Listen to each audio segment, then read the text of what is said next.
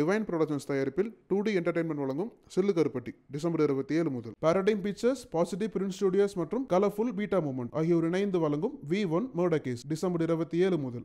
இப்ப பிரதமரே அவருடைய ஆசீர்வாதத்தோடு வந்திருக்கக்கூடிய ஒரு சொல் இப்பொழுது அர்பல் நக்சல் என்பது. இந்த நாடு பற்றி எரியக்கூடிய ஒரு சூழலை உருவாக்கி இருக்கக்கூடிய போராட்டம். இந்த சட்டம் வரப்போகிறது என்ற அறிகுறி கூட கிடையாது. இவ்வளவு அவசரமாக இந்த சட்டத்தை நிறைவேற்ற வேண்டிய தேவை என்ன? என்ஆர்சி நிறைவேற்றப்படும் என்பதை குடியரசுத் தலைவர் உரையிலேயே அவர் தெளிவாக தெரிவித்த பிறகு ரெண்டு நாளைக்கு முன்னாடி பிரதமர் சொல்கிறார் இந்த போராட்டத்தை பார்த்து அந்த பிரதமர் இந்த நாட்டின் எதிர்ப்பை புரிந்து கொண்டிருக்கிறார். தான் செய்ய நினைத்ததை செய்ய தயங்குகிறார். எல்லா இன்ஸ்டிடியூஷன்ஸும் இன்று அங்கே அவர்கள் கைகளுக்குள்ளே இருக்கக்கூடிய ஒரு சூழல். இன்று மதத்தின் பெயரால் பிளவுபடுத்தி கொண்டிருக்கக்கூடியவர்கள் இன்று ஆட்சி செய்து கொண்டிருக்க இது பாரதிய ஜனதால நகர்ப்புற நக்சல்கள் என்று நம்மளெல்லாம் சொல்றது வழக்கம்தான். இப்ப பிரதமரே அவருடைய ஆசீர்வாதத்தோடு வந்திருக்கக்கூடிய ஒரு சொல் இப்பொழுது அர்பல் நக்சல் என்பது. அதனால நாம் எல்லாரும் அதை ஒரு பெருமையான பதாகையாக சூட்டிக்கொள்ளக்கூடிய நேரம் இது. இந்த குடியுரிமை சட்டத்தை பற்றி நான் இங்கே வந்திருக்கவங்களுக்கு அதிகமாக சொல்ல வேண்டிய அவசியம் இல்லை. அது என்ன? அதோட அதில் இருக்கக்கூடிய ஆபத்துகள் என்ன என்று புரிந்திருப்பதால் தான் நமக்கு இடையே இருக்கக்கூடிய சின்ன சின்ன அந்த உரசல்களை எல்லாம் ஒதுக்கி ஓரமாக வைத்துவிட்டு நாம் இங்கே வந்திருக்கிறோம் கூடியிருக்கிறோம் என்பதை நாம் அத்தனை பேரும் உணர்ந்திருப்பதால் தான் இந்த போராட்டம் இங்கே நடந்து கொண்டிருக்கிறது. அந்த விதத்திலே இவர்கள் இந்த நாட்டை ஒன்றுபடுத்திக் கொண்டிருக்கிறார்கள். பல நாட்களாக பல ஆண்டுகளாக தமிழ்நாடும் திராவிட நாடும் இந்த நாட்டிற்கு சொல்லிக் கொண்டிருக்கக்கூடிய பல உண்மைகளை இந்த தேசம் இப்பொழுதுதான் புரிந்து கொண்டிருக்கிறது. பல வருஷமா சொல்லிட்டு இருக்கோம். ஆனால் அவர்கள் அதை காது கொடுத்து கேட்க தயாராக இல்லை. எழிலன் பேசிய பொழுது கூட நாம் ஒரு பாடத்தை சொல்லித்தந்தோம் புரிந்து கொண்டோம் சொல்லித்தந்தோம் அவர்கள் புரிந்து கொள்ளவில்லை. இப்பொழுது வீதிகளில் வந்து போராட வேண்டிய நிலைக்கு தள்ளப்பட்டிருக்கிறார்கள்.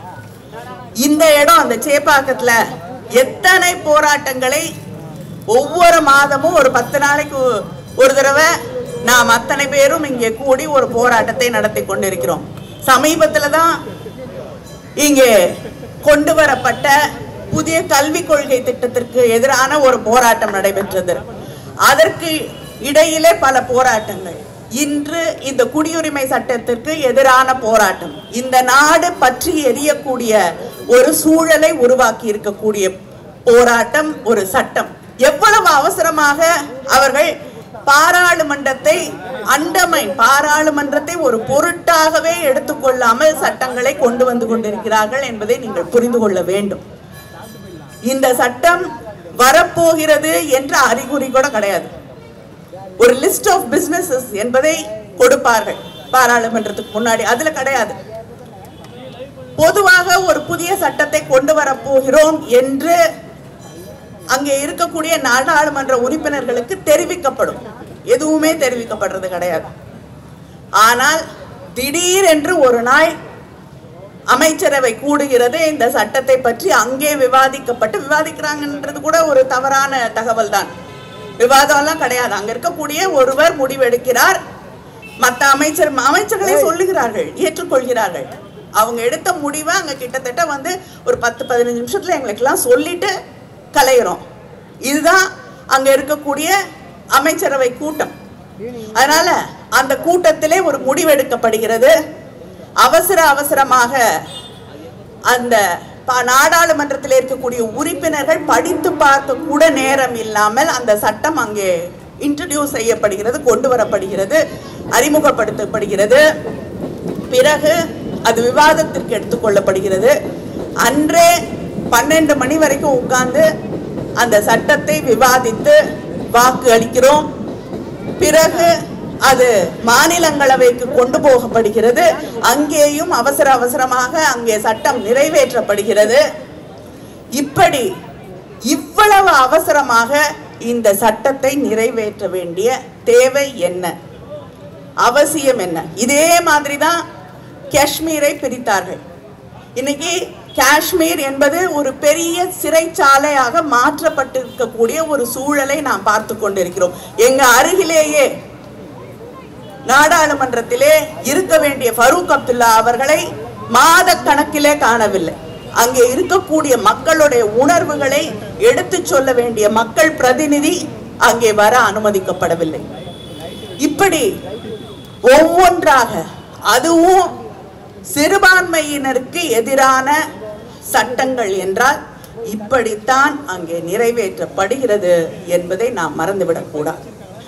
சிறுபா ஆனால் நிறைய- ஒரு பக்கம் இதை சொல்லும் பொழுது பிஜேபி என்ன சொல்கிறது என்றால் இது இந்தியர்களை பாதிக்காது. இந்த குடியுரிமை சட்டம் என்பது இந்தியர்களை பாதிக்காது. இங்க இருக்கக்கூடிய இஸ்லாமிய சகோதரர்கள் சகோதரிகள் ஏன் வீண் புரளியை நம்பி இங்கே போராடி கொண்டிருக்கிறார்கள் என்று தெரியவில்லை என்ற ஒரு கருத்தை முன்வைக்கிறார்கள். நீங்க எனக்கு ஒன்னே ஒன்று புரியல. குடியரசுத் தலைவருடைய உரையில அரசாங்கம் சொல்லாத எதையுமே சொல்ல முடியாது. அது நம்ம அத்தனை பேரும் தெரிந்த ஒன்றுதான். குடியரசுத் தலைவர் உரையிலே இந்த ஆண்டு நாடாளுமன்றத்திலே குடியரசுத் தலைவருடைய உரையில என்ஆர்சியை பத்தி தெளிவாக அவர் சொல்லியிருக்கிறார். என்ஆர்சி நிறைவேற்றப்படும் என்பதை குடியரசுத் தலைவர் உரையிலேயே அவர் தெளிவாக தெரிவித்த பிறகு ரெண்டு நாளைக்கு முன்னாடி பிரதமர் சொல்கிறார் நாங்க அதை பத்தி இதுவரைக்கும் எந்த விதமான விவாதத்தையும் செய்யவில்லை. அமைச்சரவையில் இதை பற்றி நாங்கள் பேசவே இல்லை விவாதிக்கவே இல்லை என்று பிரதமர் சொல்கிறார் என்றால் இது ரொம்ப நல்ல விஷயம். ஏன்னா இந்த போராட்டத்தை பார்த்து அந்த பிரதமர் இந்த நாட்டின் எதிர்ப்பை புரிந்து கொண்டிருக்கிறார். தான் செய்ய நினைத்ததை செய்ய தயங்குகிறார் என்ற அந்த ஒரு வெற்றியை நாம் புரிந்து கொள்ள வேண்டும். இந்த இந்த போராட்டம் தொடர வேண்டும். இந்த போராட்டங்கள் தொடர வேண்டும். ஏனென்றால் அவர்களை தன் தடத்திலே தடுத்து நிறுத்தக்கூடிய போராட்டங்கள் மக்களுடைய போராட்டங்கள் என்பதை நாம் புரிந்து கொள்ள வேண்டும். தொடர்ந்து இந்த நாட்டில் எத்தனையோ பிரச்சனைகள் இருக்கு. இன்னைக்கு கிட்டத்தட்ட இந்திய பொருளாதாரமே சரிந்து கொண்டிருக்கக்கூடிய ஒரு சூழல்.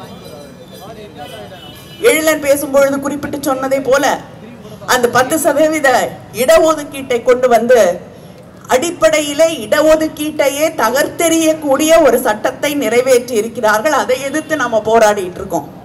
அதை தாண்டி நம்முடைய உணர்வுகளை எல்லாம் மிதித்து அழிக்கக்கூடிய அவர்களுடைய ஆர்எஸ்எஸ் இந்துத்துவ உணர்வுகளை அந்த அடிப்படைகளை எல்லாம் கொண்டு வந்து திணிக்கக்கூடிய ஒரு கல்வி திட்டத்தை இங்கே கொண்டு வர அவர்கள் அத்தனை முயற்சியும் எடுத்துக்கொண்டிருக்கிறார்கள் இதற்கு எதிராக போராடி கொண்டிருக்கிறோம். இத்தனை போராட்டங்களையும் இப்பொழுது ஒதுக்கி வைத்துவிட்டு இந்த குடியுரிமை சட்டத்திற்கு எதிராக போராடக்கூடிய ஒரு இடத்திலே நம்மை நிறுத்தி இருக்கிறார்கள் இந்த நாடு முழுவதும் நடந்து கொண்டிருக்கக்கூடிய இத்தனை போராட்டங்கள் இங்கே வந்திருக்கக்கூடிய இளைஞர்கள் இது இந்த ஒரு சட்டத்திற்கு எதிரான போராட்டம் இல்லை. இந்த ஆட்சிக்கு இவர்கள் கொண்டு வந்து நம் மீது திணிக்கக்கூடிய கருத்தியல்களுக்கு எதிரான போராட்டம். அதனால் நாம் அத்தனை பேரும் இணைந்து நின்று உங்களுக்கு எந்த நம்பிக்கை இருக்கலாம் எந்த விதமான அடையாளங்களும் இருக்கலாம் வெவ்வேறு விதமான அரசியல் சார்புகள் இருக்கலாம். ஆனால் அத்தனையையும் தூக்கி எறிந்துவிட்டு மனிதர்களாக நின்று போராட வேண்டிய தருணம் இது என்பதை நாம் உணர்ந்து கொள்ள வேண்டும். இங்கே மிக முக்கியமாக நான் ஒன்றை சொல்ல வேண்டும் என்று நினைக்கிறேன். எல்லா இன்ஸ்டிடியூஷன்ஸும் இன்று அங்கே அவர்கள் கைகளுக்குள்ளே இருக்கக்கூடிய ஒரு சூழல் அயோத்தி தீர்ப்பை நாம் எடுத்து பார்த்தோம் என்றால் அமைதியாக இருந்துவிட்டோம். தீர்ப்பு வந்தபோது இந்த நாடே இந்த நாட்டின் நலனை நினைத்து அமைதியாக இருந்தது. யாரும் அதை எதுக்கலை ஆனால் அந்த தீர்ப்பின் அடிப்படையிலே இருக்கக்கூடிய அநியாயங்களை நாம் மறந்துவிட முடியாது. இடித்தவனுக்கு ஒரு கடையில போய் ஒரு பொருளை இது வாட்ஸ்அப்ல கேட்ட கேள்விதான். ஒரு கடையில போய் ஒரு பொருளை உடைச்சிட்டா உடைச்சவர்களுக்கே காசு கொடுத்தாதானே அந்த பொருள் கூட சொந்தமா இருக்கும்? உடைச்சு இது பொருள் இல்ல கடையே நீ எடுத்துட்டு போ. கடையை பொருளை உடைச்சிட்டியா? கடையே உனக்கு சொந்தம்னு சொல்லக்கூடிய அளவிற்கு ஒரு தீர்ப்பு அங்கே வழங்கப்பட்டிருக்கிறது. ஆனால் இன்று போராடி கொண்டிருக்கக்கூடிய அத்தனை பேரும் அன்று அமைதி காத்தோம். ஏனென்றால் இந்த நாடு பற்றி எரியக்கூடாது. மதத்தின் பெயரால் இந்த நாடு பிளவுபடக்கூடாது என்ற ஒரே காரணத்திற்காக அமைதியாக இருந்தோம். ஆனால் இந்த நாட்டை இன்று மதத்தின் பெயரால் பிளவுபடுத்தி கொண்டிருக்கக்கூடியவர்கள் இன்று ஆட்சி செய்து கொண்டிருக்கக்கூடியவர்கள். இன்று பத்திரிகையில ஆர்எஸ்எஸ் உடைய தலைவர் மோகன் பகவத் அவர்களுடைய ஒரு பேச்சு பத்திரிகையில வெளிவந்திருக்கிறது.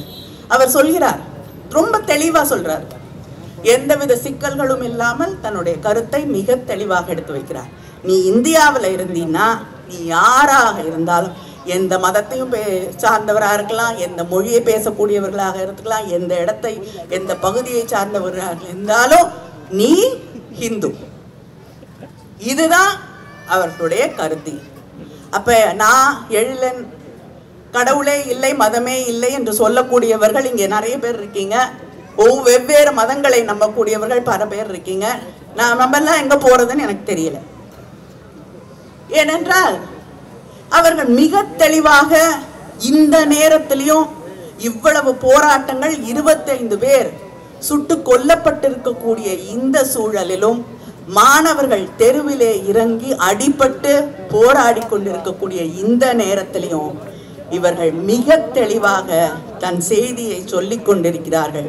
இந்த நாட்டிலே நீ வாழ வேண்டும் என்றால் நீ இந்துவாக இருக்க வேண்டும் என்ற அந்த செய்தியை அவர்கள் திரும்ப திரும்ப தெளிவாக சொல்லிக் கொண்டிருக்கிறார்கள்.